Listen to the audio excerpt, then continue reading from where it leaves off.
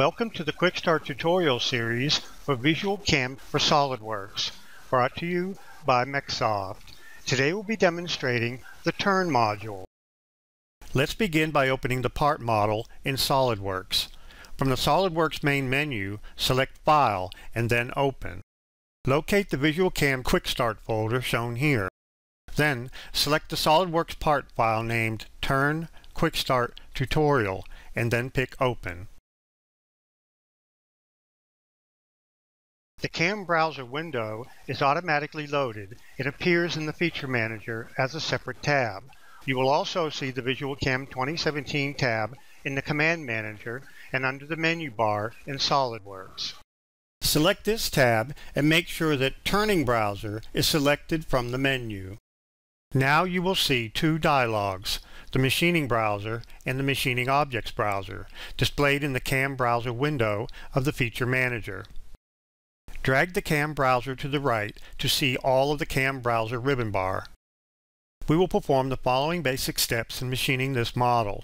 First, we'll define the machine and the post-processor to use. Then we'll define the part, stock geometry, material, and the work zero. Then we'll create and select a tool to use for machining. We'll create the machining operations, including the feeds and speeds, the clearance geometry, and other cutting parameters. Then we'll generate the toolpaths, simulate the toolpaths, post-process the toolpaths, and generate shop documentation. Let's start by defining the machine to use for this job. From the Program tab, select Lathe to display the dialog. Select the Turn Machine Setup tab and then set Maximum RPM to 10,000. Pick OK and notice that the machine lathe now appears under Machining Job in the machining browser. Next, we'll define the post processor. From the Program tab, select Post to display the dialog. With the current post processor, select FANUC from the list of available posts. Then, set the posted file extension to NC. Other file extensions are available depending on your machine requirements. Pick OK and notice that the post type now appears under the machining job in the machining browser. Now we'll define the part geometry. From the Program tab, select Part to display the dialog. Pick the Select Surfaces button. The dialog is minimized and allows us to select part objects. Press Ctrl A to select the entire 3D solid and then pick the OK checkmark icon from the Selection Property Manager. The dialog reappears and lists the selected surfaces under Selected Machining Features. Now pick Save.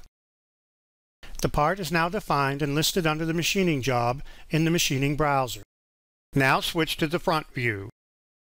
You can see the actual 2D profile that was created to use in toolpath computations. In this step, we will define the raw stock from which to cut the part. First, switch back to the isometric view.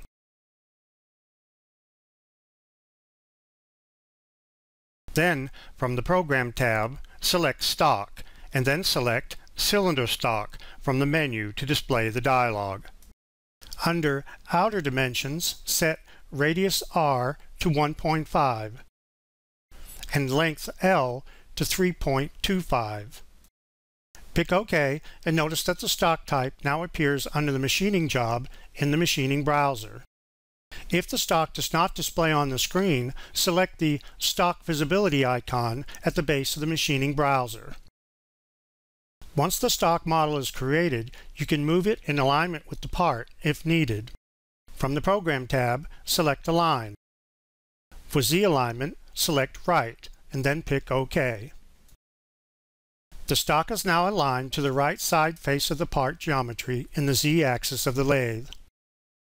Next, we'll set the material for the stock geometry. From the Program tab, select Material to display the dialog. For material, select aluminum-6061 from the list of available materials and then pick OK. If the material texture does not display on the stock, select the Material Texture Visibility icon located at the base of the machining browser.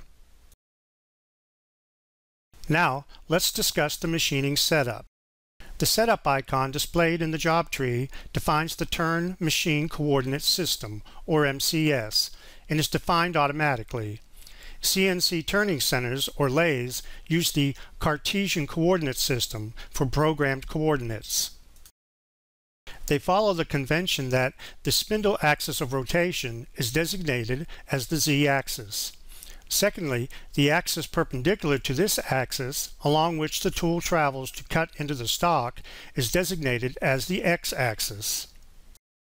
So the part and spindle rotate about the z-axis, and moving a tool along the z-axis provides the direction of feed, and moving it along the x-axis provides the depth of cut. By default, in the turn module, the lathe z-axis is aligned with the world x-axis, and the lathe x-axis is aligned with the world y-axis.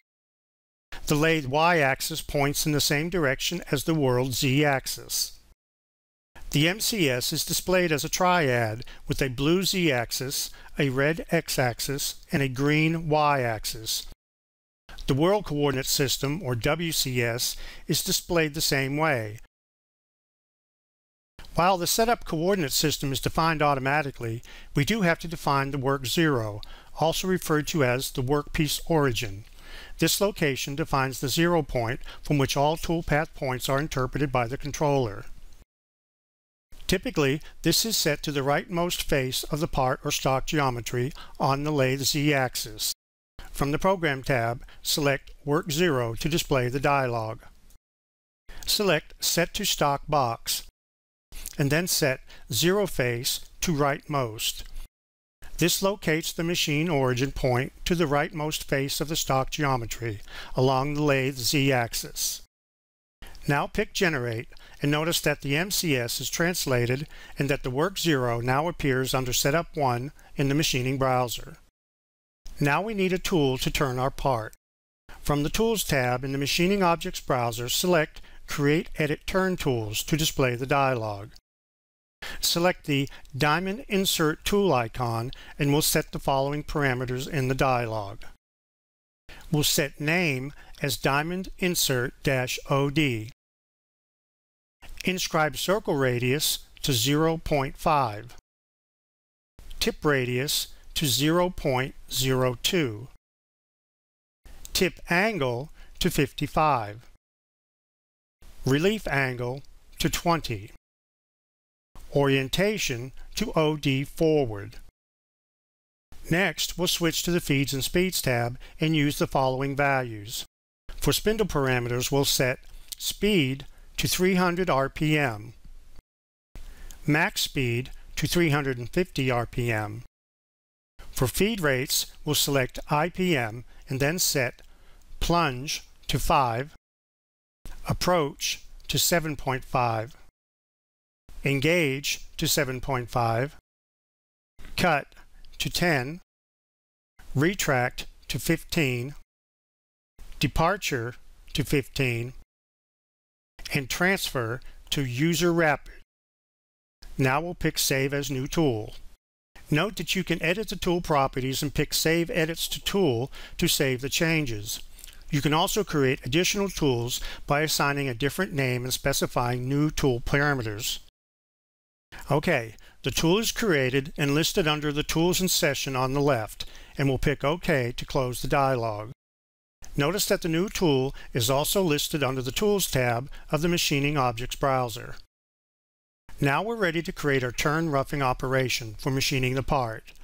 From the Program tab, select Turning and then Roughing from the menu of Operations.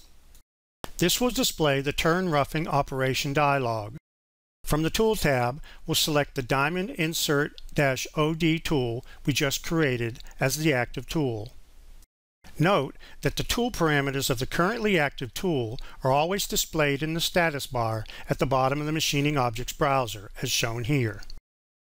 Next, we'll pick the Feeds and Speeds tab. Then we'll pick the Load From Tool button.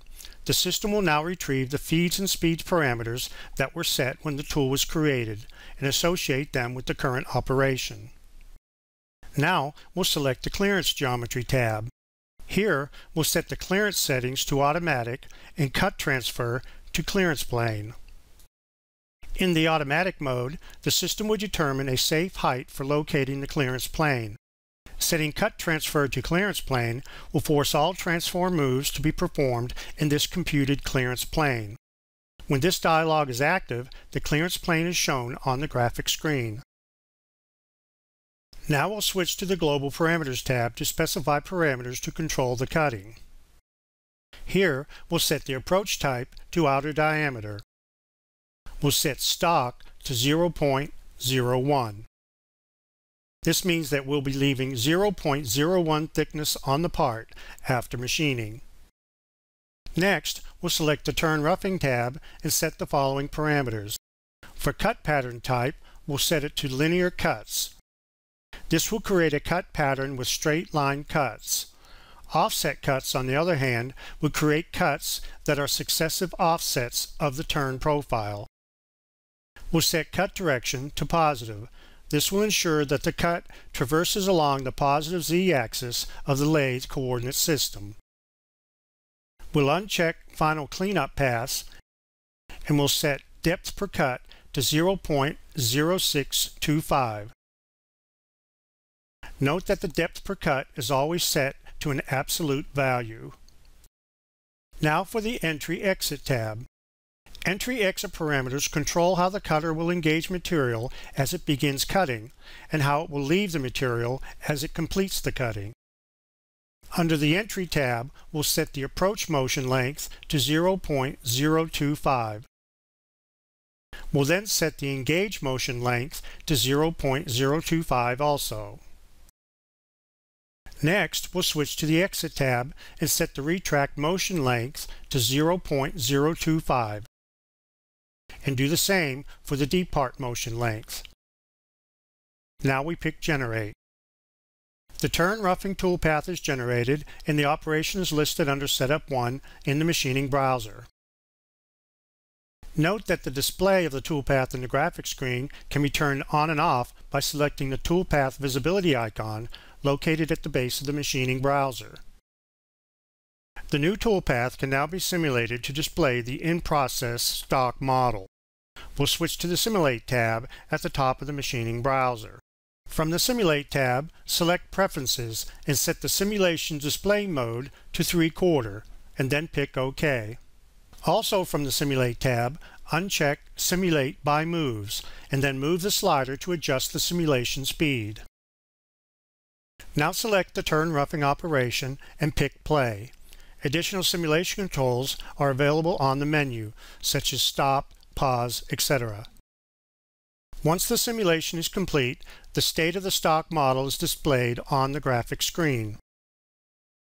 To view the cut model with textures applied, select the Material Texture Visibility icon located at the base of the machining browser.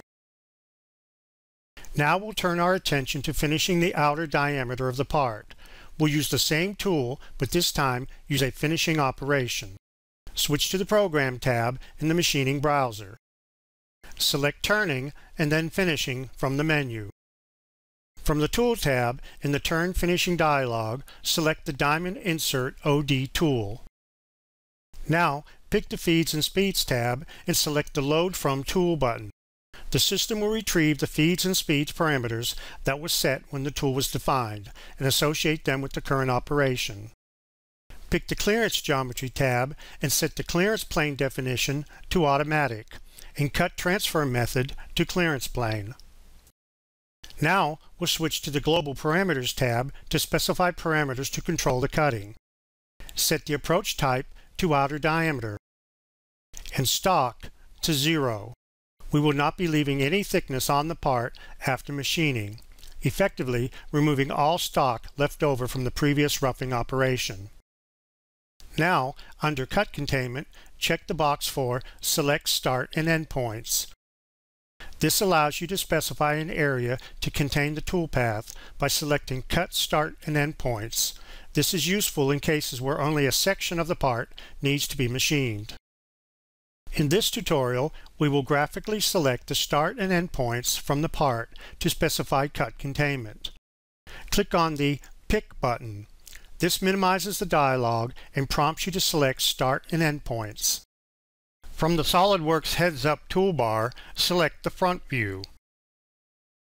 Now, we'll select a point on each end of the part. The turn finishing dialog reappears and displays start and end point coordinate values for the cut containment. Leaving all other parameters with default settings, we pick Generate, the operation is generated and listed in the operations tree in the machining browser. Now, to verify the toolpath, we make sure it's selected in the operations tree. Select the Simulate tab, select the isometric view, and then pick Play.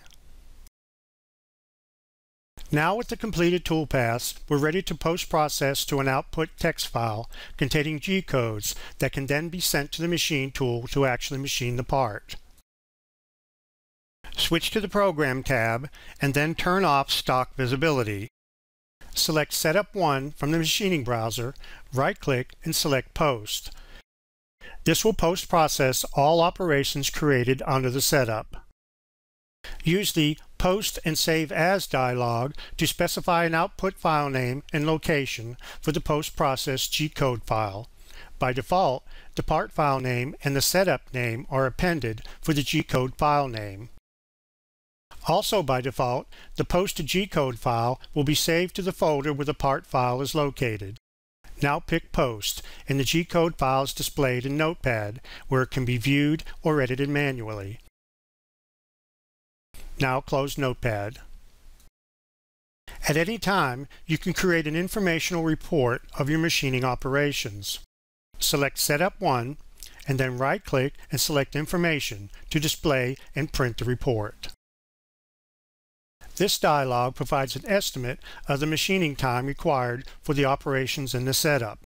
You can perform the same right-click sequence on the machining job to determine the estimated machining time for all setups. Pick OK to close the information dialog. You can also create a setup sheet by generating a shop document. This is typically used to instruct machine operators on how to set up and machine the part on the CNC machine. Select Setup 1, right-click and select Shop Documentation. Then select Template 1 and then pick Save. This creates an HTML-based shop documentation that can be viewed in a web browser. You can perform the same right-click sequence on the machining job to generate shop documentation for all setups. This completes the Quick Start tutorial of Visual CAM for SOLIDWORKS Turn module. For further assistance, you can visit the online help supplied with the program or visit www.mecsoft.com for additional tutorials. Thank you.